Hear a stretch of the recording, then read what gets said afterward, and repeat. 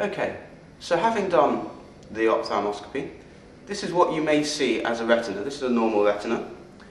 Um, it's worth remembering that you don't actually see the entire retina in one go. You would only see a small proportion, maybe this much, as I'm circling my finger. You're looking in the eye. I'm going to show you which bits you want to be looking at. This is the optic disc, this area of white circle that you may see here. And if you look around, you may see red lines. These are blood vessels. These blood vessels following here and going down there. Yes. And if you can imagine this is the patient's right eye, this would be the upper temporal quadrant up here.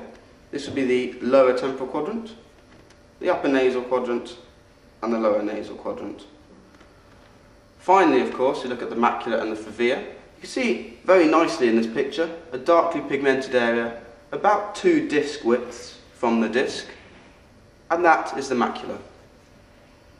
So to summarise, got the optic disc, the blood vessels, the quadrants, and the macula.